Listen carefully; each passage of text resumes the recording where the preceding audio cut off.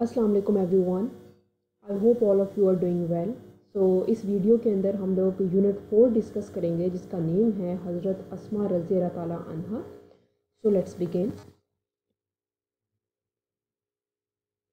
सो जो पहला पैराग्राफ है इसके अंदर, वो स्टार्ट हो रहा है द रसूल सल्लल्लाहु अलैहि वसल्लम and his companion and his close companion हज़रत अबू बकर सदीक़, ठीक है? आप सल्लल्लाहु अलैहि वसल्लम और उनके जो क्लोज़ कंपेनियन का मतलब होता है, उनके जो बहुत ही करीबी साथी थे, वो हज़रत अबू बकर सदीक़ रज़ी तहा थे।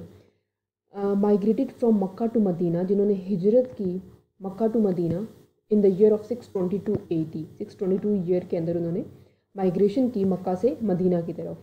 One the chief of various tribes of Mecca, जो बहुत ज़्यादा जिस तरह चीफ़ का मतलब होता है कि कोई हेड जो थे वेरियस जितने भी ट्राइब्स थे मक्का के ठीक है जितने भी हमारे पास जो वहाँ के क्लैंस थे ट्राइब्स ट्राइबल एरिया थे उसके जो हेड थे of Mecca came to know about the migration जब वो उनको पता चला कि ये हिजरत कर रहे हैं रसूल सल्लल्लाहु अलैहि वसल्लम एंड इस क्लोज कंपेनियर उन, उन, और उनके करीबी साथी हज़रत अबू बकर सदीक रज़ी अल्लाह दे गॉट फ्यूरियस अब फ्यूरियस का मतलब होता है एक्सट्रीमली एंग्री ठीक है मतलब बहुत ज़्यादा गुस्से में आ गए और बहुत ज़्यादा नाराज़ हुए वो इस बात में।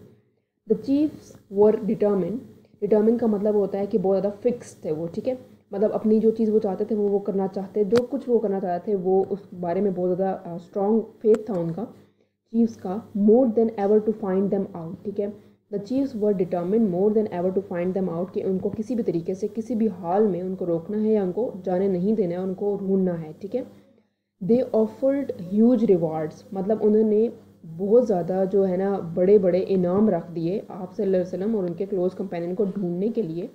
बाउंटीज़ का मतलब भी होता है इनामात फॉर देयर कैप्चर ठीक है? कैप्चर का मतलब होता है कब्ज़ा करना, उनको पकड़ने के लिए डेड और लाइफ ज़िंदा या मुर्दा, ठीक है? उनको पकड़ने के लिए उन्होंने बहुत सारे इनामात रख दिए कि आपने उनको पकड़ कर लाना है आइधर वो ज़िंदा हों या मुर्दा हों।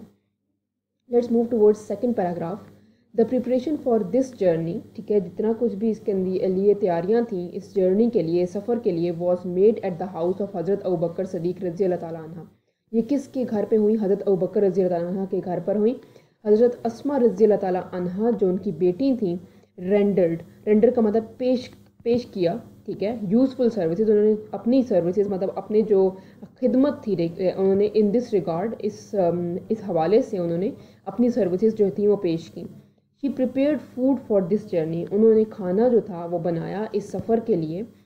She tied the food on the camel back और उन्होंने वो जो है, वो कैमल की जो बैग थी, उसके ऊपर उन्होंने बाँध दिया। With her own belt as nothing else could be found अपनी ही बेल्ट के साथ उस दौर में बेसिकली बेल्ट होती थी जो औरतें भी आगे से आगे पहना करती थी, उन्होंने अपनी ही बेल्ट के साथ उसको बाँध दिया। ठीक है? So for this service she was given to the title of ज़ातुन नातकीन बाय रसूल और उनको क्या टाइटल दिया गया? ज़ातुन नातकीन का और किसकी तरफ़ से दिया गया? हज़रत मोहम्मद सल्लल्लाहु अलैहि वसल्लम की तरफ़ से। थर्ड पैराग्राफ है during the perilous journey perilous का मतलब होता है ख़तरनाक सफ़र ठीक है? ख़तरनाक journey it was very difficult for anyone हर एक के लिए मतलब um, किसी के लिए भी ये बहुत मुश्किल होगा ठीक है? डिफ़िकल्ट मतलब मुश्किल फॉर एनी वन किसी के लिए भी। टू सप्लाई फ़ूड टू हज़रत मोहम्मद वसल्लम कि उनको खाना दे सके। सप्लाई का मतलब देना। फ़ूड टू हज़रत मोहम्मद वसल्लम हज़रत मोहम्मद वसल्लम को the situation was so delicate delicate मतलब नाजुक। बहुत ज़्यादा सिचुएशन नाजुक थी। दैट द स्लाइटेस्ट मिस्टेक छोटी सी गलती could have endanger the life of हज़रत मोहम्मद वसल्लम के उनकी जो छोटी सी गलती है, वो हज़रत हजूर सल्लल्लाहु अलैहि की ज़िंदगी को मुश्किल में डाल सकती थी। So this grand task was nicely undertaken ये जो बहुत बड़ा जो काम था, वो लिया गया, बहुत अच्छे तरीके से परफॉर्म किया गया हज़रत असमा रज़ी तह की तरफ़ से और उन्होंने लिया और इसको परफॉर्म किया। द डॉटर ऑफ़ हज़रत अबू बकर सदीक रज़ी तह जो कि डॉटर थी, जो कि बेटी थी हज़रत अबू बकर रज़ी तह की।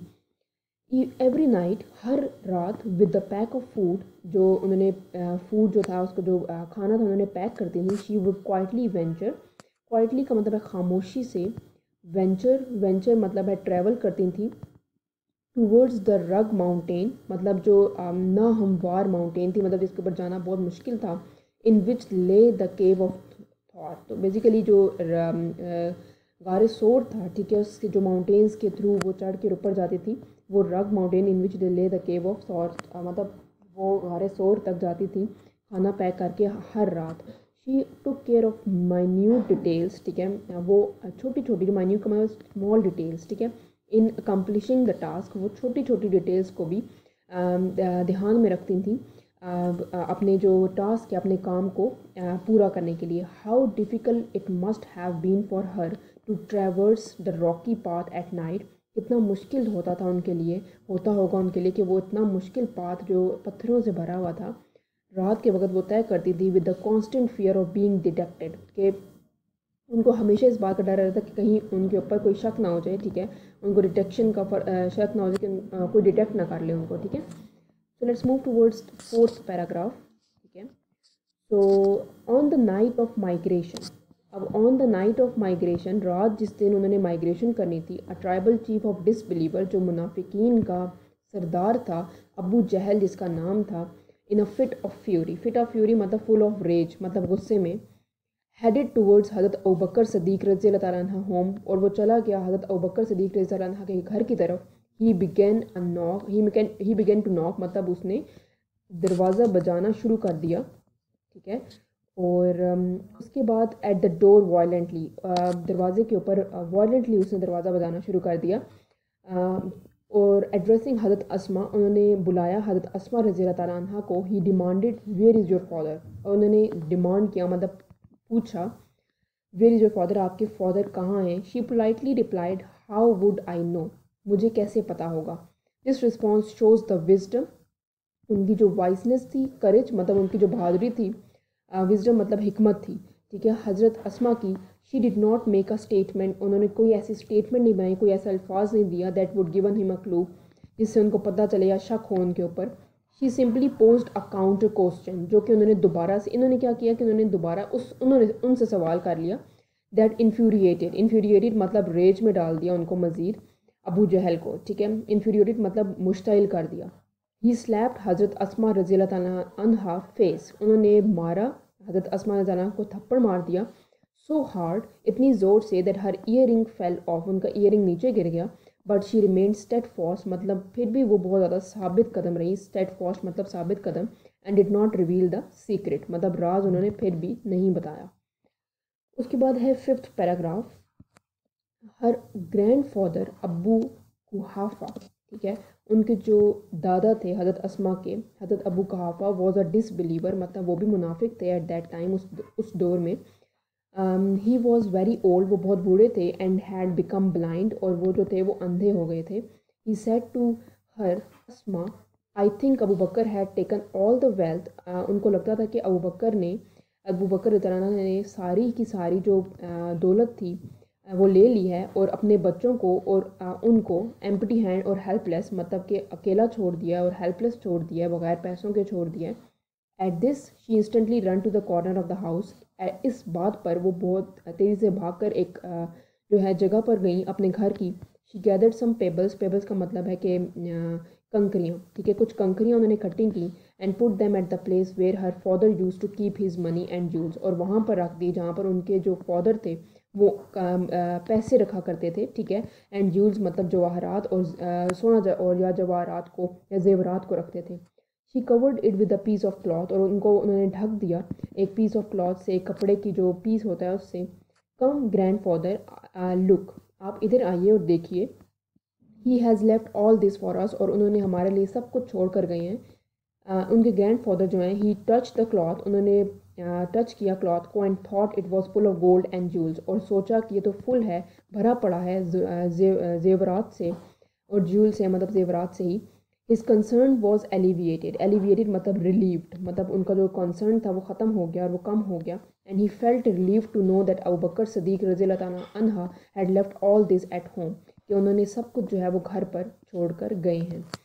सिक्स पैराग्राफ है, हज़रत असमा रज़ी अनहा was amongst the few amongst the early few who accepted Islam अब हज़रत असमा रज़ी उन लोगों में शामिल थी जिन्होंने इस्लाम को कबूल किया था। She was the daughter of Hazrat Abu Bakr Siddiq रज़ी तह and the step sister of Hazrat Aisha रज़ी तह तो हज़रत आयशा की वो स्टेप सिस्टर थी और हज़रत अबू बकर की वो बेटी थी।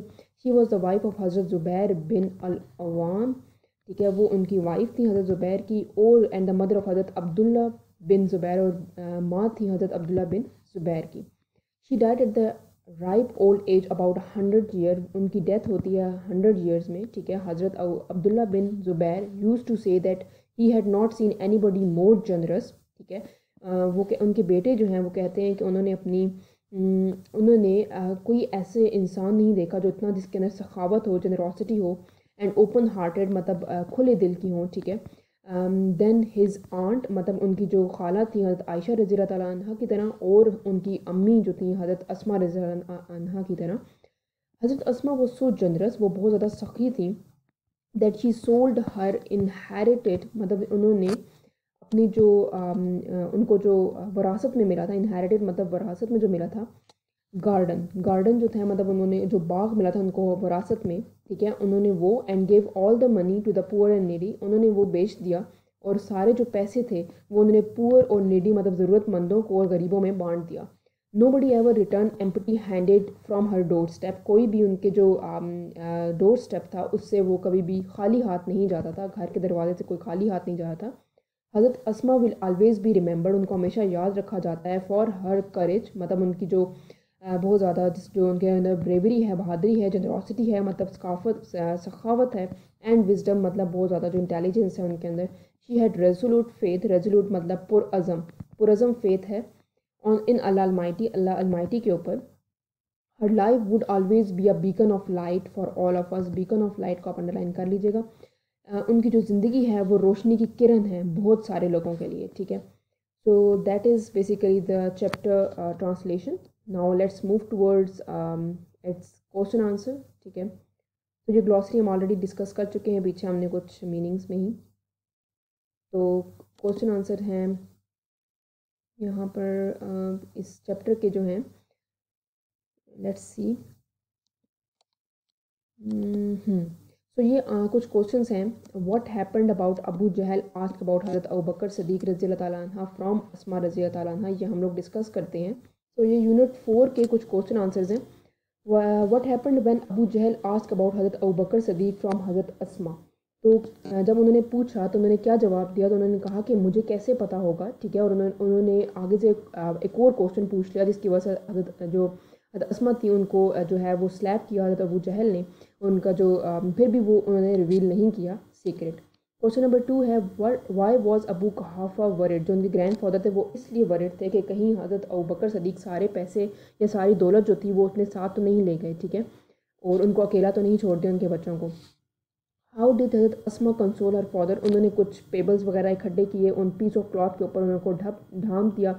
और उसके बाद उन्होंने अपने ग्रैंड फादर को बुलाया और उसको कहा, उनको कहा कि टच करें। और उनको फील हुआ कि यहाँ पर सारे हीरे जवाहरात यहीं पड़े हैं। हु वो हज़रत अब्दुल्ला बिन ज़ुबैर, वो जो थे वो बेटे थे हज़रत असमा के और हज़रत हज़रत ज़ुबैर बिन अल-अवाम के। Which incident in the story shows Hazrat Asma's love and respect for रसूल जो कि शो, जो इंसिडेंट है, जो स्टोरी के अंदर है, वो है, जो डिफ़िकल्ट पाथ से होकर अपना जो है खाना पैक करके हज़रत अबू बकर सदीक और हज़रत मोहम्मद वसल्लम के लिए उगार शोर में लेकर जाती थी और अब, और दूसरा इंसिडेंट ये कि उन्होंने रिवील नहीं किया सीक्रेट जिसके ये पता चलता है कि वो कितनी मोहब्बत करती थी और कितनी इज़्ज़त करती थी हज़रत मोहम्मद सल्लल्लाहु अलैहि वसल्लम की।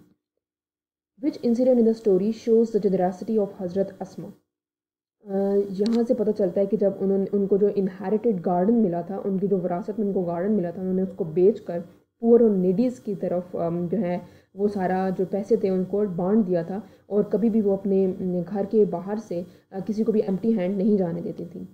What message do you get from the life of Hazrat Asma रज़ी तहा सो तीन जो हैं, मुझे लगता है कि जो मैंने अपनी तरफ़ से लिखे हैं मैसेजेस वो हैं love for Allah and his messenger Allah और उसके रसूल से मोहब्बत जनरोसिटी मतलब सखावत and wisdom at the right circumstances मतलब जिस तरह उन्होंने विजडम शो की कुछ इंस्टेंसेस के ऊपर अबू जहल को नहीं बताया। हज़रत मोहम्मद वसल्लम और अबू बकर रज़ी तह की जो राज था वो तो ये सरकमस्टांसिस थे जिस राइट सरकमस्टांसिस पे वो अपनी विजडम शो करती थी सही थी बहुत और अल्लाह से और उसके रसूल से मोहब्बत करती थी जो ये मैसेज उन्होंने अपनी पर्सनालिटी के थ्रू और अपनी ज़िंदगी के थ्रू लोगों तक पहुँचाया इसीलिए इनकी जो ज़िंदगी थी वो बीकन ऑफ़ लाइट थी हर एक के लिए। So that's all from my side if you have any queries you can ask me the comment section um, this is uh, question number 8 you can do your own self as well. So please like subscribe and share my channel. Thank you for watching